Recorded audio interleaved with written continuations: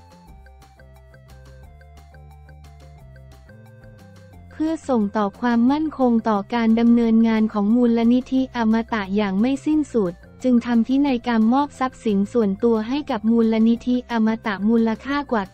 95%ของทรัพย์สินทั้งหมดที่มีอยู่มูลค่า 20,000 ล้านบาทไม่ว่าจะเป็นที่ดิน อาคารคอนโดมิเนียมหุ้นในตลาดหลักทรัพย์ตลอดจนทรัพย์สินส่วนตัวอื่นๆ เพื่อให้เป็นสาธารณประโยชน์ตามวัตถุประสงค์ของการก่อตั้ง อันจะนำไปสู่หนึ่งในกลไกการยกระดับคุณภาพสังคม สิ่งแวดล้อมและเศรษฐกิจไทยสำหรับมูลนิธิอมตะก่อตั้งเมื่อ 27 ปีที่แล้วโดยคุณวิกรม กรมมดิตมีโครงการภายใต้วัตถุประสงค์ เช่น โครงการรางวัล นักเขียนอมตะ โครงการทุนเรียนดี โครงการประกวดศิลปกรรม อมตะอาร์ตอวอร์ด โครงการด้านนวัตกรรม โครงการหนังสือดีมีประโยชน์สร้างการเปลี่ยนแปลง และโครงการปรับปรุงอุทยานเขาใหญ่สู่อุทยานมาตรฐานโลกภายในเวลา 10 ปี ตั้งแต่วันแรกที่เริ่มต้นสู่ธุรกิจ ผมยึดมั่นในเป้าหมายอวิน และความมุ่งมั่นของการทำแต่สิ่งดีงามให้ไว้กับทุกคนมาโดยตลอด โดยเฉพาะเมื่อประสบความสำเร็จในธุรกิจการงานแล้วก็ควรแบ่งผลกำไรกลับคืนสู่สังคมและสิ่งแวดล้อม พื่อให้สังคมไทยเป็นสังคมที่มีคุณภาพน่าอยู่ เช่นประเทศที่เจริญแล้ว ซึ่งผมได้นำประสบการณ์ชีวิตตั้งแต่วัยเด็กมาเรียบเรียง มาถ่ายทอดเป็นตัวหนังสือพิมพ์เผยแพร่ไปแล้วกว่า 11.6 ล้านเล่ม เพื่อให้สังคมสามารถเรียนรู้และนำไปปรับใช้ได้ในโอกาสต่างๆ ที่อาจจะเกิดขึ้น ดังนั้นการทำพินัยกรรมมอบทรัพย์สินในครั้งนี้ นับเป็นความตั้งใจของผมหลังจากที่ได้เรียนรู้ ฝึกฝนชีวิตกับวิกฤตต่างๆ จนขับเคลื่อนให้ธุรกิจกลุ่มอมตะประสบความสำเร็จในการพัฒนานิคมอุตสาหกรรมให้เป็นเมืองนวัตกรรมเทคโนโลยีและสิ่งแวดล้อมที่ยั่งยืน ด้วยแนวคิดที่เห็นว่าเราเกิดมาจากศูนย์และจากไปเป็นศูนย์ ระหว่างศูนย์เราควรสร้างสรรค์สิ่งที่มีประโยชน์และคุณค่าฝากไว้ให้กับสังคมในระยะยาวตลอดไป ที่มามติชนออนไลน์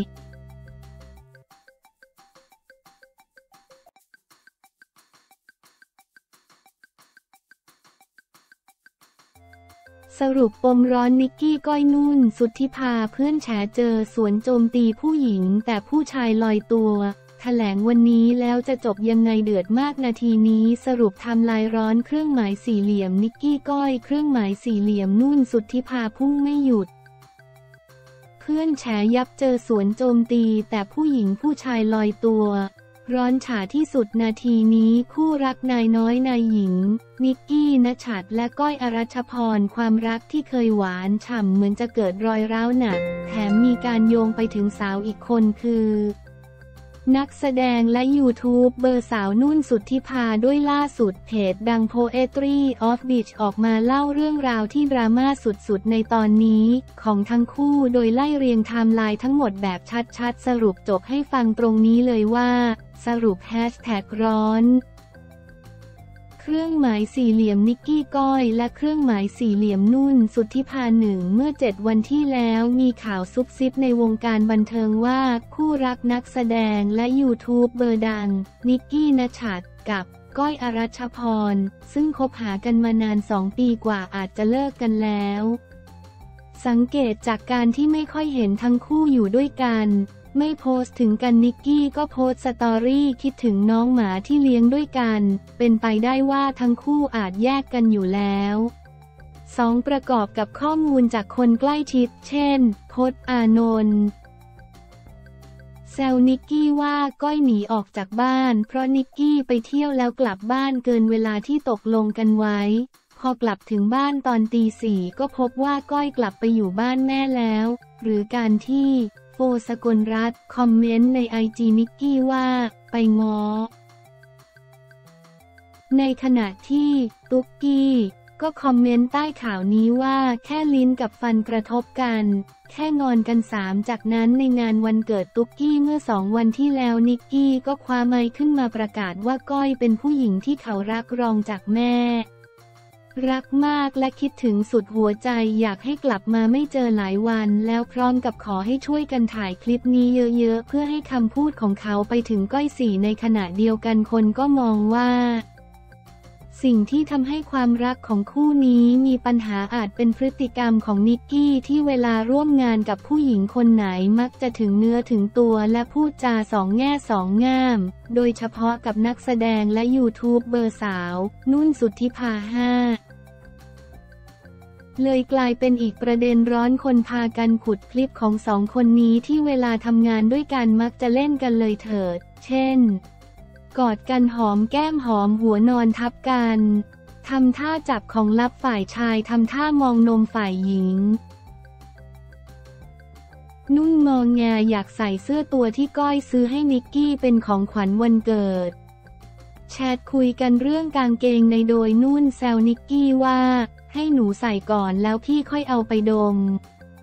นิกกี้ทำคอนเทนต์หลอกพานุ่นเข้าโรงแรมม่านรูด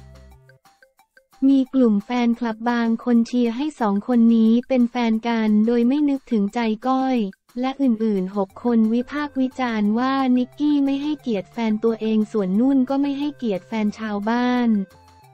ไม่มีผู้หญิงคนไหนอยากเห็นแฟนตัวเองนัวเนียกับผู้หญิงอื่น ก้อยใจกว้างมากที่ปล่อยให้เหตุการณ์เหล่านี้เกิดขึ้นซ้ำๆมานานเจ็ด แต่ก็มีคนมองอีกมุมเหมือนกันว่า สิ่งที่นิกกี้ทำนั้นเป็นงานเป็นแค่คอนเทนต์ก้อยควรแยกแยะให้ได้ก็เหมือนการที่ก้อยเล่นละครแล้วมีฉากกอดจูบนั่นแหละ อีกอย่างนิกกี้ก็รู้จักสนิทสนมกับนุ่นก่อนมารู้จักก้อยเสียอีก และเขาเล่นกันอย่างนี้มานานแล้ว 8 คนไปเจอคลิปเมื่อสองเดือนที่แล้ว ตอนก้อยไปออกรายการหนึ่งแล้วโดนถามว่าเคยหึงนิกกี้ไหม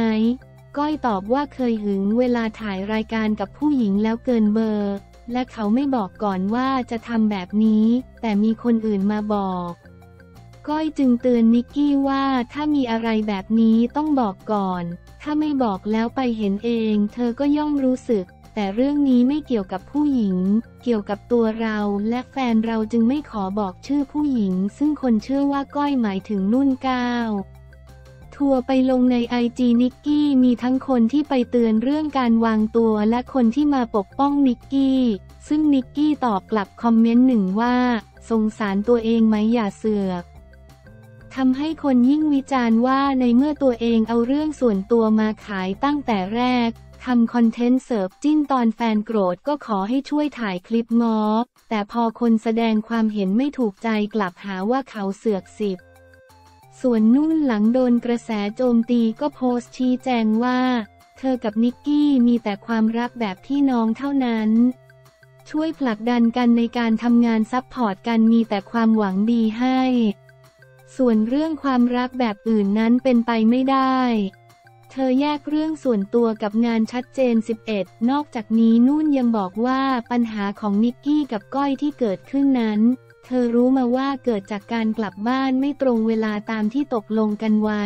ทำให้นุ่นโดนโจมตีอีกเพราะคนมองว่านุ่นมีสิทธิอะไรมาพูดเรื่องส่วนตัวของคนอื่น 12 ต่อมา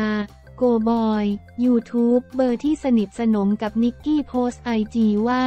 หยุดมโนและคิดกันไปเองพรุ่งนี้สิบโมงเช้าให้ฟังจากปากของทั้งคู่ได้ที่ช่อง YouTube ของนิกกี้ ขอให้เลิกปั่นได้แล้ว 13 เหมือนคลื่นลมจะสงบลง แต่ปรากฏว่าหลังนุ่นโพสต์ได้ไม่นาน เพื่อนสนิทของก้อยก็พร้อมใจกันโพสต์ไอจีสตอรี่ซึ่งคนเชื่อว่าเกี่ยวกับเรื่องนี้ เช่นวีวิโอเลตโพสต์มีมริฮานนา ชูแก้วไวน์พร้อมแคปชั่น justice serve you deserve it ฟีลแบบก็ยุติธรรมแล้วนี่หล่อนต้องเจอแบบนี้นัตตี้ รีโพสต์สตอรี่ของวีพร้อมแคปชั่นเพิ่มว่า น้องคะ และโพสต์อีกข้อความว่า ไม่มีใครเลิกกัน เพราะกลับบ้านไม่ตรงเวลานะคะ น้ำหอม นารดา โพสต์ข้อความ รำคาญผู้หญิงคนหนึ่งมากเลยอัดแต่ก้อยไม่ให้พูดชื่อดรีมโพสต์ข้อความ เพื่อนๆไม่ต้องการให้ใครมาพูดเหตุผลในการเลิกแทนเจ้าตัวค่ะ รอดูในคลิปพรุ่งนี้ทีเดียวนะคะ 14 เรื่องนี้เลยกลายเป็นประเด็นร้อนขึ้นมาอีก เพราะคนยิ่งมองว่าเรื่องที่นุ่นทำให้ความสัมพันธ์ของก้อยกับนิกกี้สันคลอนนั้นมีมูล แต่ในขณะเดียวกันก็มีคนมองว่าแทนที่เพื่อนๆของก้อยจะพุ่งเป้าไปที่ผู้ชายบ้าง กลับโจมตีแต่ผู้หญิงสุดท้ายผู้ชายก็ลอยตัวทั้งที่เป็นต้นเหตุสำคัญ